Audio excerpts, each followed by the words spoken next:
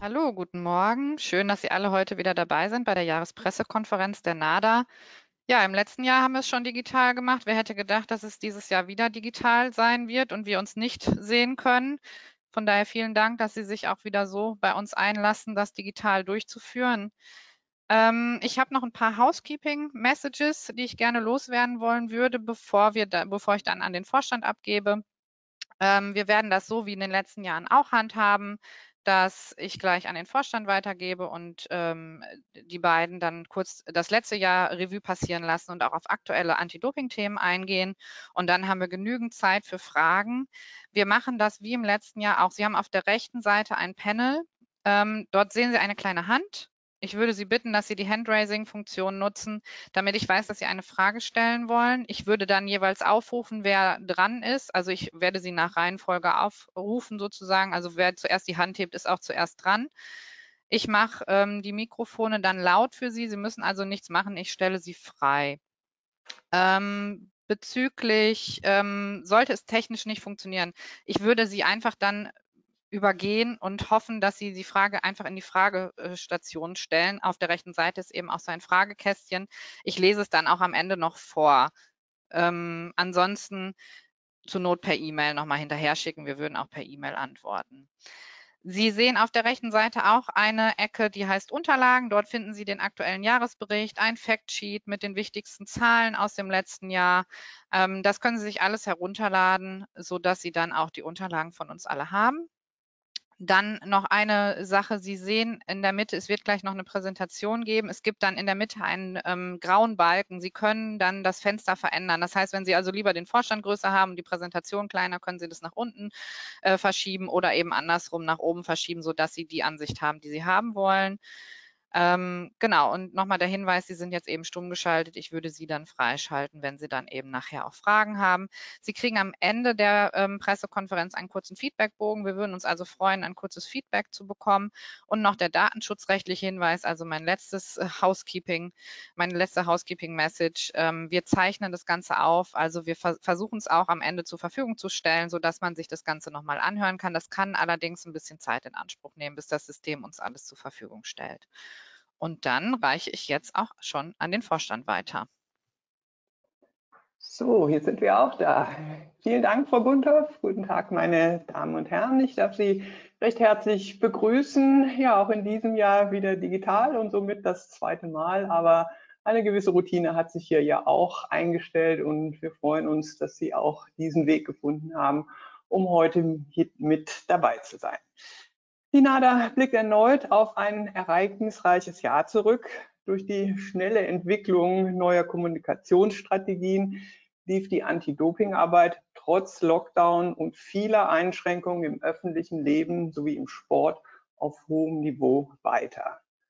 Lassen wir uns vielleicht auch mal im Januar 2020 beginnen, als Präventionsveranstaltungen mit 100 Personen noch möglich waren das Kontrollsystem mit dem Olympiatestprogramm für Tokio im Jahr 2020 auf aktuellem Kurs lief und die NADA zum 1. Januar in die institutionelle Förderung überführt wurden. Aber es kam bekanntlich anders als gedacht zu diesem Zeitpunkt. Fangen wir doch mit der Finanzierung an und ich glaube, ich habe diesen Punkt selten so entspannt vorgetragen wie in diesem Jahr. Grundlage aller Maßnahmen ist die Finanzierung der NADA die dank der institutionellen Förderung durch den Bund seit dem 1. Januar 2020 auf einem sicheren Fundament steht. Das Gesamtbudget des operativen Geschäfts belief sich 2020 auf rund 10 Millionen Euro, davon 6,94 Millionen Euro aus Bundesmitteln, was in etwa einem Anteil von 70 Prozent entspricht. Hierin sind enthalten 2,4 Millionen Euro für Forschungs- und Analysezwecke, die die NADA an die beiden deutschen WADA-akkreditierten Labore in Köln und Kreischer nach entsprechender gutachterlicher Prüfung weiterleitet. Die Finanzierungsbeteiligung der Länder für die Durchführung von Präventionsprojekten belief sich in 2020 auf 435.000 Euro. Die Zuwendungen des Sports betrugen 630.000 Euro. Die Kontrollkosten der nicht geförderten Spitzenverbände wurden mit knapp 1,1 Millionen Euro beglichen. Gehen wir weiter in das nächste und unser Dopingkontrollsystem. Die NADA hat verstärkt an innovativen Lösungen gearbeitet, um die sauberen Sportlerinnen und Sportler insbesondere während der ersten Covid-19-Welle und der Aussetzung von klassischen Dopingkontrollen zu unterstützen. Unter anderem wurde das Projekt zur Dried Blood Spot Methode initiiert, um das Dopingkontrollsystem gemeinsam mit den Athletinnen und Athleten weiterzuentwickeln und zukunftsfähig zu gestalten. Die NADA begrüßt die nun offizielle Einführung der DBS-Methode bei den Olympischen und Paralympischen Spielen in Tokio. Die Anzahl der Trainingskontrollen der NADA des vergangenen Jahres ist auf einem vergleichbar hohen Niveau wie in den Vorjahren. Aufgrund der vielen Wettkampfabsagen konnten in diesem Bereich die Kontrollen nicht im gleichen Umfang durchgeführt werden. Sehen wir uns das Dopingkontrollsystem doch einmal in Zahlen an. Mit insgesamt 9.572 Kontrollen, das entspricht 11.970 Proben, wurde das Kontrollsystem unter den Bedingungen der Pandemie angemessen durchgeführt. In Zusammenarbeit mit den beiden WADA-akkreditierten Laboren, die in der Analytik weltweit führend sind, kann die NADA immer die neuesten Nachweisverfahren routinemäßig anwenden. Sie werden hier eine detaillierte Auflistung auf Seite 7 des Jahresberichts finden. Ich möchte hier exemplarisch mal zwei Substanzgruppen herausgreifen. Das ist zum einen die Erythropoese stimulierenden Substanzen, kurz auch EPO genannt. Hier haben wir 3294 Analysen durchgeführt und auch im Bereich des Wachstumshormons und seiner Releasing-Faktoren wurden 3697 Proben darauf analysiert. Aber insbesondere die Auswertung der Profile des biologischen Athletenpasses zusammen mit der Athlete Passport Management Unit des Kölner Labors waren in 2020 von großer Bedeutung. Dieses, ich nenne es mal biologische Warnsystem, ermöglicht es der den Expertinnen und Experten der NADE gerade nach Lockdown-Phasen etwaige Auffälligkeiten frühzeitig zu erkennen und entsprechend darauf zu reagieren. Die NADA forciert zudem die Langzeitlagerung von Proben seit vielen Jahren. Neuerdings können bis zu 3000 Proben jährlich für maximal zehn Jahre unter entsprechenden adäquaten Bedingungen für eine spätere Reanalyse aufbewahrt werden. Der Ausbau der hierfür notwendigen Strukturen hat sich bewährt. Das Olympiatestprogramm musste im letzten Jahr zeitweise ausgesetzt werden und läuft mit der Verschiebung der Spiele wieder im Zeitplan und auf gewohntem Niveau. Die deutschen Teilnehmerinnen und Teilnehmer für Tokio stehen im Fokus des Dopingkontrollsystems. Aber auch die Vorbereitungen für Peking 22 laufen auf Hochtouren. Im Bereich der Kontrolltätigkeit ist für uns auch die internationale Zusammenarbeit wichtig. Die NADA initiierte einen regelmäßigen digitalen Austausch im Bereich der Kontrollplanung mit den Expertinnen und Experten anderer NADOs aus aller Welt. Maßgeblich konnten so frühzeitig die Hygienerichtlinien bei Dopingkontrollen mitgestaltet werden. Diese Richtlinien dienen dem Schutz aller am Prozess beteiligten Personen und werden fortlaufend an aktuelle Anforderungen adaptiert. Auch der für uns so wichtige Bereich der Prävention hat einiges an Veränderungen hier mit sich gebracht. Die Präventionsarbeit konnte während der Covid-19-Pandemie durchgehend gewährleistet werden. Für die Fortführung der Aufklärungsarbeit hat das Ressort Prävention ein großes Online-Angebot geschaffen. Der E-Learning-Kurs wird auch weiterhin verstärkt genutzt und die Workshops werden digital angeboten. In der Entwicklung haben wir hier einige Zahlen zusammengestellt im Präventionsprogramm Gemeinsam gegen Doping. Ja, der erste Teil 23 Infostandeinsätze, das ist etwas, da mussten wir wirklich zurückstecken im Rahmen der Pandemie. Wir hatten 139 geplant, aber wir haben das durch andere Maßnahmen kompensiert. Wir haben 152 Schulungen und Workshops nahezu wie geplant, digital und teilweise auch vor Ort durchgeführt. Wir konnten über 8000 Neuinstallationen der NADA-App registrieren und auch beim E-Learning hatten wir über 15.000 Neuregistrierungen und ganz erfreulich, dass über 13.000 Personen diesen Kurs durchlaufen haben, hinterher auch entsprechende Fragen beantworten und ein entsprechendes E-Learning-Zertifikat erhalten haben. Das digitale Angebot der Prävention wurde durch die Entwicklung einer E-Participation-App gemeinsam mit dem Bundesinstitut für Sportwissenschaft und Athleten Deutschland erweitert. Zudem sind alle Broschüren für die unterschiedlichen Zielgruppen überarbeitet worden und erscheinen im frischen, zeitgemäßen Look. Auch das E-Learning-Programm Gemeinsam gegen Doping wird in Kürze zukunftsweisende neue Strukturen annehmen. Bei der internationalen Zusammenarbeit ist natürlich für uns auch immer wichtig, einen Blick über die Landesgrenzen zu werfen und hier auch zu kooperieren. Unter den besonderen Umständen der Pandemie initiierte die NADA einen regelmäßigen digitalen Austausch mit Expertinnen und Experten internationale Anti-Doping-Agentur. Nur durch diesen Erfahrungsaustausch und die unterstützenden Fachdiskussionen kann es gelingen, die Anti-Doping-Arbeit für die Zukunft weiterzuentwickeln. Die internationalen, aber auch nationalen Projekte sind aus meiner Sicht hier von großer Bedeutung. Da gilt es zum einen zu erwähnen und vorletzte Woche mit einem internationalen digitalen Symposium abgeschlossen, National Anti-Doping Governance Observer, abgekürzt NATGO, das nochmal ganz wichtige Impulse auch für die Governance-Strukturen der nationalen Anti-Doping-Agenturen gesetzt hat. Dann aber auch im Bereich der Prävention das Projekt Respect. Die genaue Ausführung können Sie hier auch nachlesen. Das ist eigentlich gerade bei diesen beiden, das sind beides Erasmus Plus Projekte der EU, dass man hier eigentlich immer schöne Abkürzungen wählt, aber doch einen sehr umfassenden Inhalt in diesen Projekten hat. Diese Projekte laufen mehrjährig. Aber für uns wichtig war auch die systematische Auswertung der Anwendung, Anwendung von Analgetika, auch Schmerzmittel genannt, in den verschiedenen deutschen Fußballligen, aber auch Cannabidiol, was nicht auf der Dopingliste steht, aber als mögliche Dopingfalle sein darstellen kann. Das haben wir untersucht in Zusammenarbeit mit dem Institut für Biochemie der Deutschen Sporthochschule Köln. Und nicht zuletzt bei dieser Auswahl hier die Evaluation des NADA-Codes.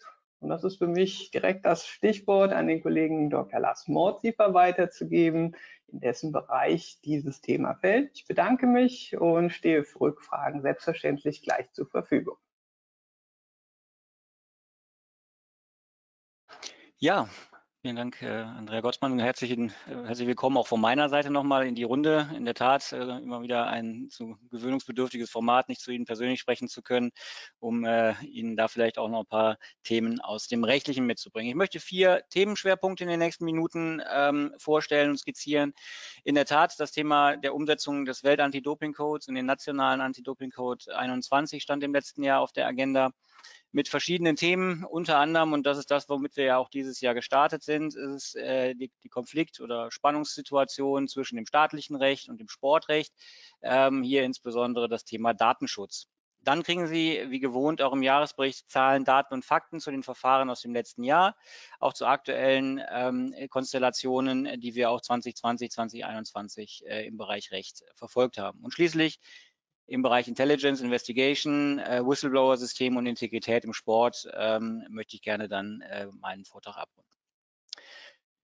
Im Mittelpunkt 2020 stand eindeutig aus der rechtlichen Sicht die Umsetzung des NADA-Codes. Wenn die Pandemiesituation vielleicht ein Gutes hatte, dann äh, hatten wir deutlich mehr Zeit im Bereich Recht, uns mit den umfangreichen Änderungsvorschlägen, Änderungsmaßnahmen des Welt-Anti-Doping-Codes zu beschäftigen äh, und diese dann auch wirklich zügig in den nationalen Anti-Doping-Code umzusetzen. Das ist uns gelungen. Wir waren eine der ersten nationalen Anti-Doping-Organisationen, die bereits im August 2020 äh, die Compliance-Erklärung der Welt-Anti-Doping-Agentur bekommen hatte und somit frühzeitig auch in Deutschland mit den Sportfachverbänden die Umsetzung des Regelwerks betreiben konnten.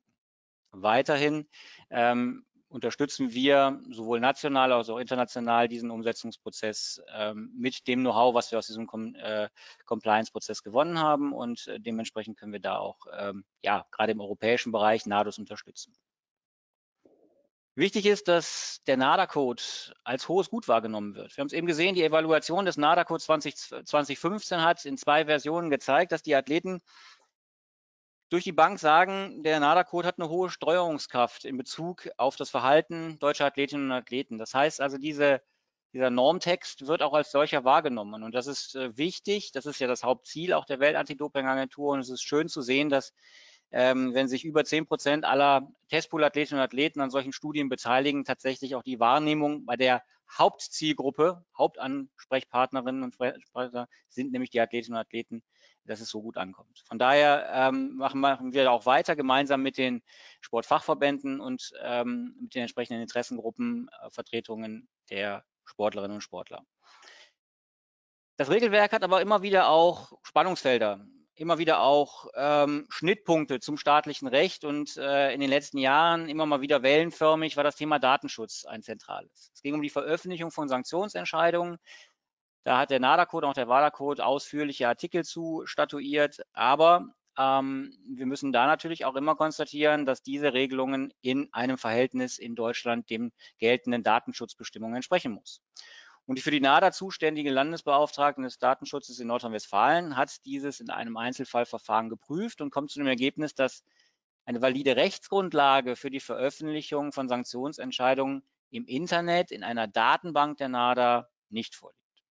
Das war für uns erstmal schon ja, ein Schock. Es war für uns erstmal äh, äh, ein, ein Turning Point dahingehend zu sagen, äh, wir sind davon ausgegangen, dass Anti-Doping-Gesetz, Anti-Doping-Regelwerke, Einwilligungserklärungen der Athletinnen und Athleten eine valide Grundlage darstellen können. Aber wir haben uns auch darauf relativ zügig eingestellt. Sie haben es den Pressemitteilungen von uns auch entnommen. Ähm, wir arbeiten mit den zuständigen Stellen, insbesondere auch mit dem Bundesjustizministerium, mit der WADA, mit entsprechenden Stellen daran, möglichst valide Rechtsgrundlagen zügig zu implementieren. Aber dabei ist weiterhin das Problem, dass das deutsche Recht keine Prangerwirkung von Urteilen im Internet äh, kennt und es auch entsprechend nicht zulässt. Der Datenschutz, das kennen wir auch aus anderen Bereichen, er hat da einen sehr hohen Stellenwert. Nichtsdestotrotz werden wir uns international dafür einsetzen, dass dieses Thema auch vielleicht ein bisschen prominenter dargestellt wird, gerade auch in der internationalen Anti-Doping-Arbeit. Komme ich zu Zahlen, Daten und Fakten aus dem Jahr 2020. Natürlich, die Pandemie hat sich auch auf die Verfahrenssituation äh, ausgewirkt. Weniger Kontrollen ergibt letztlich auch sicherlich weniger Verfahren.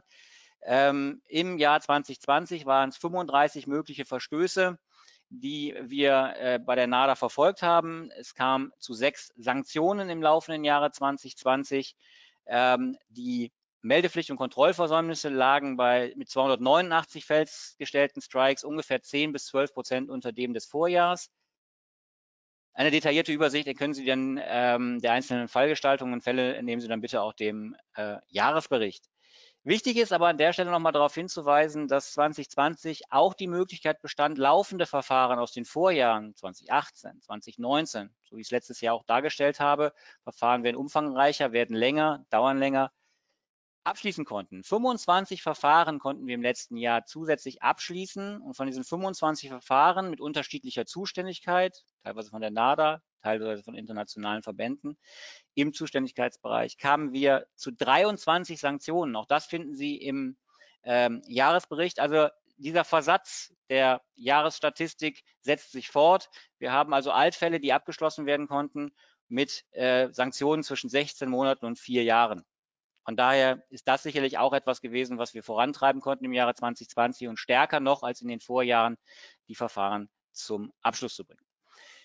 Ja, ich sagte die Verfahren dauern länger, werden komplexer. Ähm, Rechtsmittelverfahren zum KAS sind mehr geworden. Die NADA ähm, hat im Jahre 2020 insgesamt im Schnitt sechs bis acht Verfahren vor dem KAS geführt, äh, führt sie auch weiterhin. Ähm, das zeigt, dass auch Fälle internationaler werden. Das zeigt, dass äh, die Rechtsprechung des KAS weiterhin auch für deutsche Verfahren gefragt ist und ähm, dementsprechend auch von uns genutzt wird. In dem Zusammenhang äh, Internationalität lässt sich sagen, dass die Operation Adalas weiterläuft, auch wenn das Verfahren gegen den Hauptangeklagten oder Hauptbeschuldigten Dr. Schmidt abgeschlossen ist mit einer mittlerweile rechtskräftigen Verurteilung vor dem Landgericht München. Die sportrechtlichen Verfahren laufen weiter. In ADA 2 eingeleitete Verfahren weiterhin betraut und wird sie auch im Jahre 2021 fortsetzen. Dementsprechend werden wir da auch weiter international zusammenarbeiten und da komme ich dann schon zum äh, letzten Punkt, Intelligence Investigation, der Bereich, der dann natürlich auch im Lockdown funktionierte, denn die Auswertung von Informationen, von Einzelpunkten konnte natürlich auch fortgesetzt werden. Wir haben ähm, weiterhin über unsere Whistleblower-Hotline Informationen bekommen, die wir dann international mit Kolleginnen und Kollegen gerade aus der Schweiz und Österreich auswerten und weiterverfolgen konnten. Wir haben es auch äh, weiterhin so gehalten, dass wir Austauschtreffen und Workshops mit staatlichen Ermittlungsstellen digital durchgeführt haben. Zweimal im Jahr, sogar äh, im Jahre 2020 und in der digitalen Form. Ende des Jahres hatten wir sogar einen Teilnehmerrekord von fast 50 Teilnehmerinnen und Teilnehmer aus dem Bereich der Ermittlungsbeamten. Ähm, Sachverhalten sind wir insgesamt über 20 nachgegangen, insbesondere auch mit unserem Partner Sportradar, um tatsächlich zu schauen, wie international auch in Abstimmung mit der WADA möglicherweise Verfahren möglicher Dopingverstöße verfolgt werden können. Das alles zeigt, und damit möchte ich jetzt schließen, dass über die Jahre hinweg bei der NADA ein System gewachsen ist zum Schutze der Integrität des Sports. Wir haben von uns gehört, dass wir nicht nur Dopingkontrollsystem und Präventionsmaßnahmen voranbringen, sondern uns vor allen Dingen auch mit diesem Thema des Whistleblower-Schutzes und der Integrität des sportlichen Wettbewerbs eingesetzt haben. Der Anti-Doping-Bereich ist einer der ersten gewesen, der über eine entsprechende gesetzliche Grundlage verfügt, neben den sportspezifischen Regeln. Wir haben gehört, dass wir regelmäßig äh, auch den, das, das, Thema Good Governance überprüfen, um die Struktur auch der Anti-Doping-Organisationen immer wieder zu hinterfragen im nationalen und internationalen Kontext. Im Moment läuft eine große Good Governance-Strategie und Überarbeitung auch der Welt-Anti-Doping-Agentur. Wir haben eine unabhängige Sportschiedsgerichtsbarkeit, die uns ermöglicht, ein ein dem, dem staatlichen System angegliedertes Projekt in, die Sportgericht, in den Sportbereich zu überführen. Alles das sind gute Argumente, gewichtige Argumente, sie einzubringen über den Anti-Doping-Bereich hinaus. Und das tun wir seit einiger Zeit und haben es im letzten Jahr auch vertieft, zum Beispiel mit Athleten Deutschland, mit der Athletenvertretung, mit Transparency International, aber auch mit dem DOSB und dem Deutschen Fußballbund, um zu schauen, wie man diese vielversprechenden, guten und gewachsenen Strukturen einsetzen kann in ein Gesamtsystem der Integrität im Sport. Und da möchten wir auch trotz der Pandemielage nicht nachlassen, uns dort einzubringen mit den Erfahrungswerten, die wir haben, äh, die wir gesammelt haben und dementsprechend auch ähm, ähm, professionelle Ansprechpartner für die Athletinnen und Athleten zu sein. Das soweit die vier Punkte. Jetzt stehen wir gerne für Fragen zur Verfügung. Vielen Dank. Ja, vielen Dank für die beiden Statements. Ähm, Herr Motzif hat es gerade schon gesagt, wir haben jetzt Zeit für Fragen und ich sehe auch schon die ersten Fragen. Ähm, eine kurze Info, wie es funktioniert nochmal. Sie sehen auf der rechten Seite eine Hand. Ich sehe auch schon die zweite Frage. Also Sie haben die Hand entdeckt. Ähm, und ähm, ich würde Sie gleich aufrufen. Ich sehe als ersten Herrn Seppelt. Ich schalte Sie frei und Sie müssen dann auch nochmal aufs Mikro drücken, damit Sie Ihre Frage jetzt stellen können.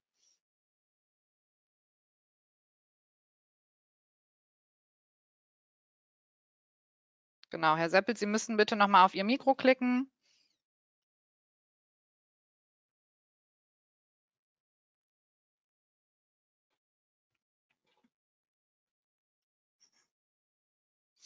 Ansonsten ähm, gehe ich jetzt mal zu Marina Schweizer und würde es gleich nochmal bei Ihnen versuchen, Herr Seppelt. Jetzt habe ich es. Ah, okay. Sorry. Wunderbar. Okay, guten Tag. Hallo. Ähm, eine Frage an Herrn Morziver hätte ich, und zwar, Sie hatten ja von der Datenschutzbeauftragten von NRW berichtet und deren äh, Entscheidung. Ähm, ich versuche das jetzt mal runterzubrechen. Nach meiner Erinnerung war es doch früher so, dass Athleten, die äh, ähm, eine bestimmte Leistungsgrenze nicht überschritten haben, dass deren Nennung öffentlich nicht möglich war, während Athleten, die halt, ich sag's mal, Topstars sind, bei denen war die öffentliche Nennung möglich. Ich schließe aus dem, was Sie eben gesagt haben, dass die Datenschutzbeauftragte von NRW gesagt hat, dass sie im Internet gar keinen Namen mehr veröffentlichen dürfen. Habe ich das falsch verstanden? Das wäre die erste Frage. Und die zweite Frage wäre, ähm, wenn Sie es im Internet nicht veröffentlichen dürfen, dürfen Sie dann Pressemitteilungen dazu machen? Und äh, der Hintergrund ist natürlich der, denn wenn ein Athlet in der Öffentlichkeit äh, durch sportliche Erfolge auftritt, also wenn dann diese sportlichen Erfolge durch Doping erzielt werden, dann darüber nicht mehr, das nicht mehr publiziert werden darf, dann sehe ich natürlich einen gewissen Widerspruch. Ja, vielen, vielen Dank für die Nachfrage. In der Tat habe ich es jetzt in dem Statement kurz gehalten. Ähm, das kann ich gerne nochmal ähm, vertiefen. In der Tat ist es so, dass die fehlende valide Rechtsgrundlage uns dazu bringt, natürlich ähm, zu prüfen, was denn tatsächlich geht und was nicht geht. Weiterhin geht natürlich die Vorgaben des Codes, des WADA-Codes und des NADA-Codes zu erfüllen, die äh, Institutionen, also sprich die Verbände, die WADA, internationale Verbände, Major Event Organizations, natürlich darüber zu informieren, äh, wenn eine Athletin oder ein Athlet gesperrt ist. Also den Kreis derjenigen, die es tangiert, die eine Sperre umzusetzen haben, die werden auch weiterhin äh, informiert, auch auf digitalem Wege, auch auf kurzfristigem Wege, das ist weiterhin möglich. Darüber hinaus besteht auch weiterhin im Lager der NADA die Möglichkeit, ähm, Pressemitteilungen zu machen, von dem wir ja auch Gebrauch machen. In der Tat ist es da aber so, ähm, dass uns bislang äh, dort die Datenschutzbeauftragten ein wenig äh, alleine lassen mit der Maßgabe, wo die Grenze liegt. Sie haben auch am Anfang gesagt, dass ähm, egal welcher Athlet, egal welche Athletin es ist, das Persönlichkeitsrecht immer vorrangig zu prüfen ist. Wir selbst sind aber der Auffassung und das rechtlich auch äh, fundiert, dass wir ab einer Grenze des Leistungssports, und da definieren wir insbesondere auch Kaderzugehörigkeiten und internationale Wettkampftätigkeit, ähm, sehr ähm, offensiv auch in Pressemitteilungen und in Mitteilungen gehen kann. Wichtig ist halt, dass dieses Konstrukt der, der Datenbank eben nicht mehr so funktioniert. Also vor allen Dingen auch das dauerhafte Online-Stellen von Entscheidungen und von Maßnahmen, das muss überprüft werden. Wie gesagt, wir haben es beim Bundesjustizministerium im Rahmen der Anti-Doping-Gesetzüberarbeitung ähm, sehr stark äh, hinterlegt. Es wird auch weiterhin diskutiert. Also unser, unser Petitum ist weiterhin ähnlich zum Beispiel wie in Österreich, das Ganze auch in die gesetzliche Grundlage zu bringen. Denn das hat man auch gemerkt. Die äh, Landesdatenschutzbeauftragten in NRW haben sich auch nicht so richtig wohl damit gefühlt, diese Entscheidung zu treffen, ähm, weil sie eben nichts an der Hand hatten, zum Beispiel vom Bundesgesetzgeber oder von internationaler Seite. Darf ich kurz nachfragen, wenn Sie das nicht in der Datenbank veröffentlichen dürfen, laut Entscheidung der NRW-Datenschutzbeauftragten, Sie jetzt aber trotzdem sagen, dass Sie das quasi ein Stück weit auch herausfordern, weil Sie glauben, dass es nicht in Ordnung ist. Ähm, faktisch wäre es ja dann so, in der Datenbank wäre es nicht drin, aber eine Pressemitteilung, die Sie publizieren, da wäre es drin. Und diese Pressemitteilung wäre ja auch bei Ihnen auf der Website. Also insofern beißt sich ja die Katze den Schwanz. Auch da müssen wir natürlich, sind wir dann gehalten, Pressemitteilungen ähm, ja nur noch periodisch äh, veröffentlichen zu können, eben nicht mehr in ein Archiv zu überführen, wenn es denn tatsächlich personenbezogene Daten von diesen Athletinnen und Athleten betrifft. Natürlich, klar. Also da endet nicht der Datenschutz, nur weil es eine Pressemitteilung ist. Aber durch eine Presseaussendung äh, haben wir nochmal die Möglichkeit, das Ganze von einem anderen rechtlichen Thema aus zu beleuchten äh, und dadurch nochmal ein Gegengewicht, auch was die valide Rechtsgrundlage und das Mitteilungsbedürfnis äh, angeht, äh, tatsächlich auch festzustellen. Aber es bleibt spannend. Es ist da relativ fragil. Ähm, und wie gesagt, die Entscheidung der Landesdatenschutzbeauftragten hat uns für die Anti-Doping-Arbeit nicht wirklich unterstützt und wir sind damit auch nicht so richtig glücklich. Vielen Dank. Ich habe als nächstes Marina Schweizer bei mir ähm, und dann, ich sehe auch ihr Mikro schon, dann habe ich den Oliver Kern und den Jörg Mebus. Dann hoffe ich jetzt mal, dass es auch funktioniert. Hören Sie mich? Nee, Sie hören mich nicht, oder? Doch. Ja, Doch, okay, wir hören Sie sehr gut. Klar. Sehr gut. Ähm, ich bin so ein bisschen leidgeprüft, was das Mikro angeht, trotz Radio. Ähm, ich habe äh, ein paar Fragen. Ich, ähm, die sind aber knapp. Also erstens würde mich mit Blick auf Japan und Olympia interessieren, äh, eine Einschätzung von Frau Gotzmann und Herrn Mordziefer, wie Sie das mit der Chancengleichheit jetzt bewerten. Die Pandemie ist ja in unterschiedlichen Erdteilen, ich sag mal, tobt jetzt gerade sehr unterschiedlich. Und es gab ja auch schon Bedenken von Athletenseite, dass zum Beispiel Quarantänen da auch als Möglichkeit genutzt werden, weil man ja dort nicht getestet werden kann, dann zu dopen. Also ich würde gerne eine, äh, gerne Sichtweise auf die Chancengleichheit abfragen. Ähm, dann vielleicht auch noch mal eine Beurteilung zu den Testverfahren bei der anstehenden Fußball-EM haben wollen.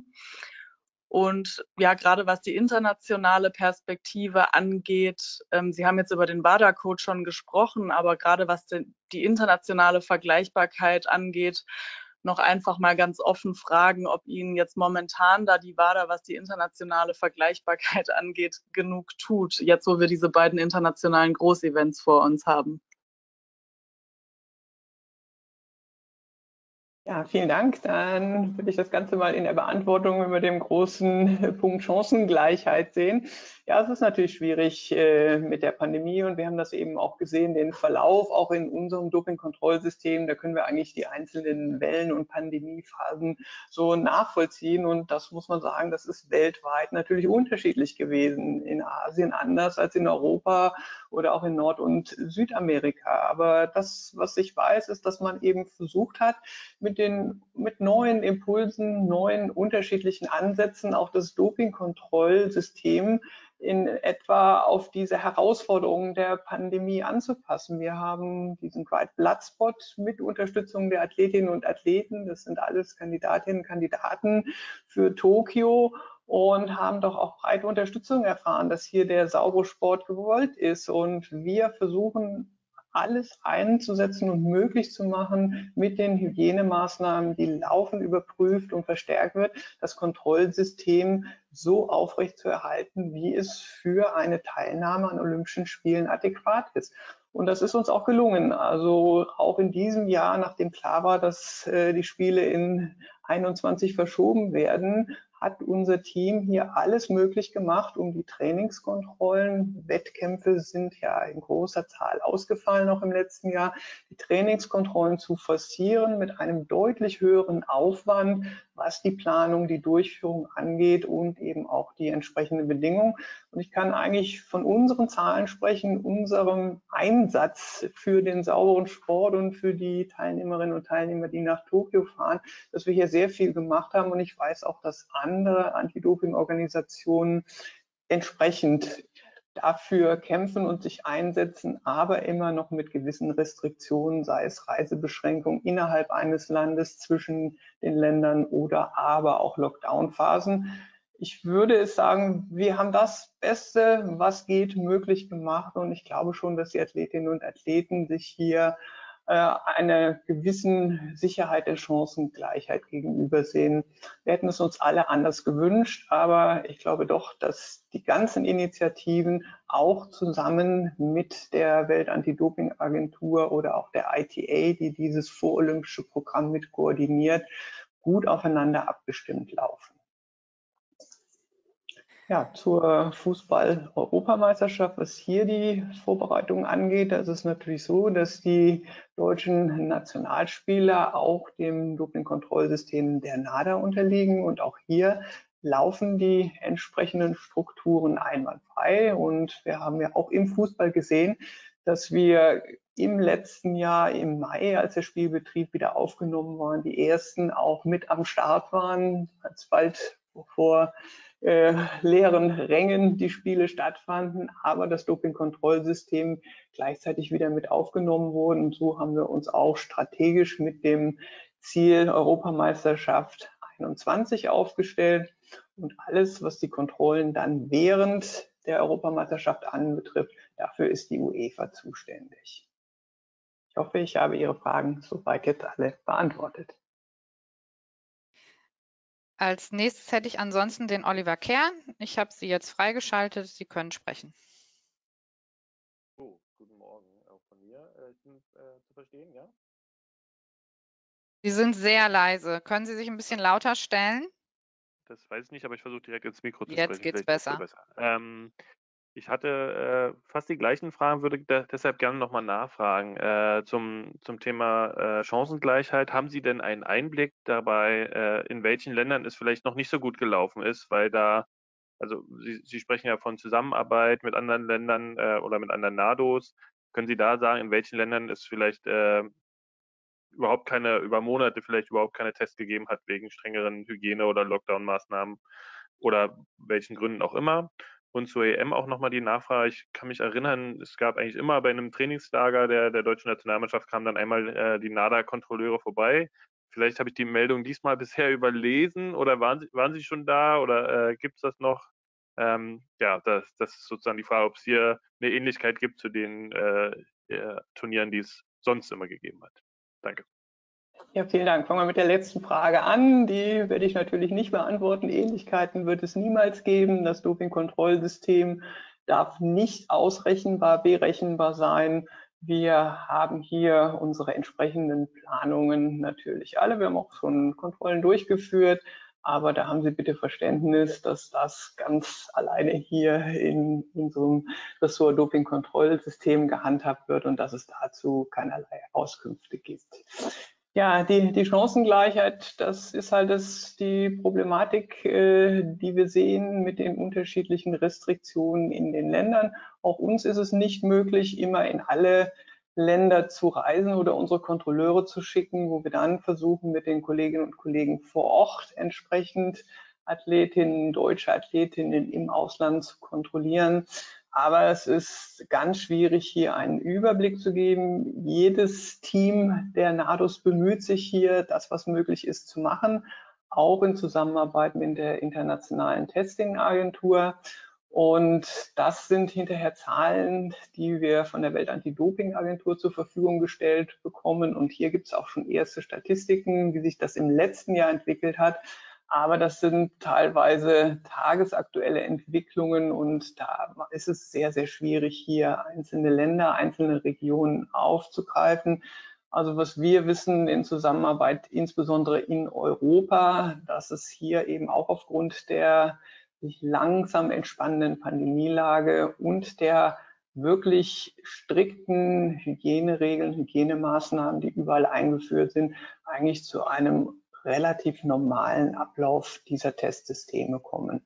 Wir haben ja auch die Diskussion gehabt, was ist mit Quarantäne? Ist das ein, ein vorgeschobener Grund, sich einer Dopingkontrolle zu entziehen, insbesondere im Trainingsbereich? Wir haben das nochmal genau evaluiert, sowohl für das gesamte letzte Jahr als auch für dieses Jahr. Wir haben hier keinerlei Auffälligkeiten gesehen, dass sich Athleten sozusagen in Reihe in die Quarantäne begeben. Das gibt es nicht. Die Anzahl ist deutlich unter einem Prozent. Das heißt, wir überprüfen das auch, inwiefern das eine offiziell behördlich angeordnete Quarantänemaßnahme ist. Das kann man uns nicht einfach so mitteilen. Das muss schon nachgewiesen werden. Und selbstverständlich werden wir innerhalb kürzester Zeit nach Ablauf dieser Quarantänemaßnahmen auch wieder hier die Kontrollen setzen und da auch nochmal ein besonderes Augenmerk drauf haben. Wir haben also auch in diesem Jahr, das ist natürlich auch immer mit den Pandemiewellen bedingt, äh, eine Anzahl, die deutlich unter einem Prozent liegt, alle einzeln nachkontrolliert und auch von unseren Rechtsabteilungen für angemessen erklärt. Und von daher sehen wir eigentlich nicht, dass wir durch Quarantänemaßnahmen hier in unserer Arbeit groß beeinträchtigt gewesen wären. Ich habe noch eine Hand von Herrn Mebus, den ich als nächstes, äh, Herr Mebus, Sie müssen einfach nur Ihr Mikro freischalten, dann hören wir Sie auch. Und ähm, Herr Schirmer, ich sehe Sie auch mit Ihrer Frage, allerdings sehe ich kein Mikro bei Ihnen. Ich würde Sie bitten, das bitte rechts in den, ins Fragekästchen zu, äh, zu schreiben, dann stelle ich die Frage für Sie. Genau, Herr Mebus, Sie haben das Mikrofon. Ja, hallo in die Runde. Bin ich zu hören einigermaßen? Sehr gut, danke.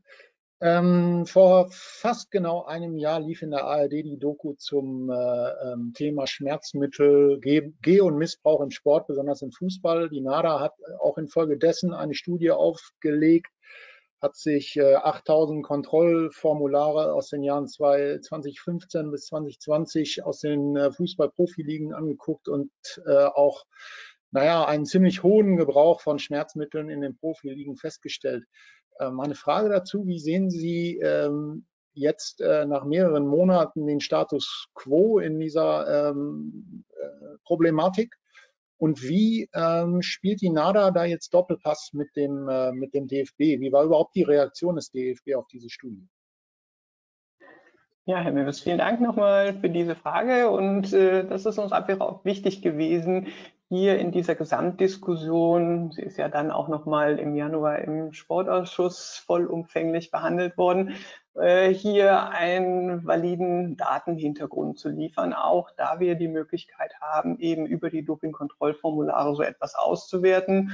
Und das ist, glaube ich, äh, auch ein einmaliger Einblick in diese Thematik. Und es ist wichtig, dass wir das Thema aufgegriffen haben und jetzt aber auch sehen müssen, dass wir mit den entsprechenden Präventionsansätzen hier äh, ja, zu Potte kommen, würde ich mal sagen, dass wir weiter offensiv darüber mit Spielerinnen und Spielern, aber auch über das betreuende ärztliche Personal diskutieren und hier auch entsprechende Strategien entwickeln, um diesen Schmerzmittelgebrauch reflektierter zu behandeln und eben zu sehen, wo ist es wirklich absolut unnötig, das hier einzusetzen. Da sind wir in Gesprächen. Die Anti-Doping-Kommission des DFB ist auch hier mit zuständig und aber auch die medizinische Kommission, wo auch nochmal Untersuchungen gestartet worden sind.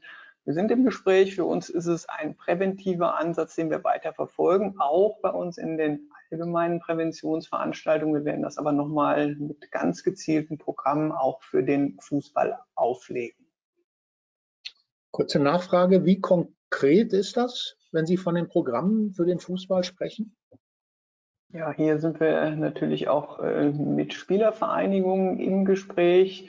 Ähm, beim DFB haben wir in der Anti-Doping-Kommission, werden wir auch einen Personalwechsel haben. Dort wird auch in der nächsten Sitzung das wieder eines der Top-Themen sein. Wir wissen auch, Toni Kraft-Baumann ist hier sehr aktiv und auch Experte für Schmerzmittel und die Behandlung von Schmerzen. Und da sind wir eigentlich in einem regelmäßigen Austausch. Aber es wird wahrscheinlich dann auch nach der Europameisterschaft wieder die Möglichkeit sein, sich in dieser Kommission mit den Fachleuten zusammenzusetzen.